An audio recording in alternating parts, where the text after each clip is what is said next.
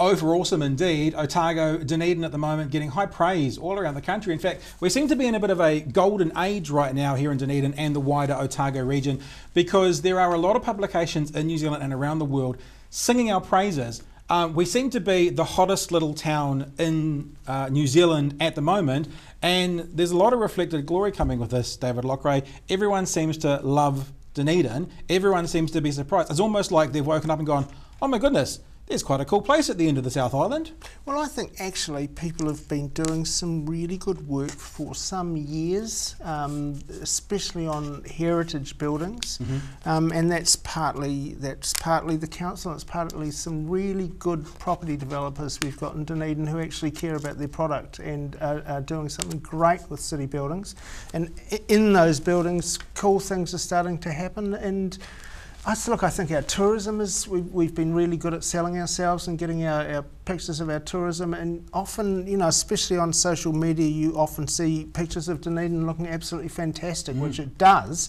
And somehow that's kind of got this kind of ball rolling, hasn't it? And I think that, you know, economically we're doing reasonably well partly because of the huge upswing in, in tourism, but, but all sorts of things. So I'd say definitely it's an exciting time for Dunedin. It's interesting as well when you start to uh, delve into the people who are in Dunedin.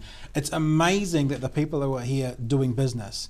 Uh, I found a company the other day, and I don't know if they want this publicised, so I won't mention it, but that is co owned by the man who started YouTube. One of the okay. men who started YouTube yep. owns half of a company. Mm that has a base in Dunedin. I mean, that's amazing to think about that. With Gigatown coming through and other things like that, it's just, you know, natural history New Zealand, of course, the ODT, of course. Yeah, me. You, yeah, David Loughrey. Totally. It's, it's an amazing place to live. I'm a fairly new migrant to this city of the last mm. few years, and I'm loving every minute of it. So what we thought we'd do is this. This is a bit of a challenge if you're watching this right now, especially if you are from Dunedin, from Otago. What we want to do is if you think that the praise that this city and this region are getting is valid, Imagine someone is going to pay us a visit this weekend. We want you to put in the comments, whether you're watching this on Facebook or on YouTube or wherever it is, we want you to put in the comments one thing that you would advise people should do in this region.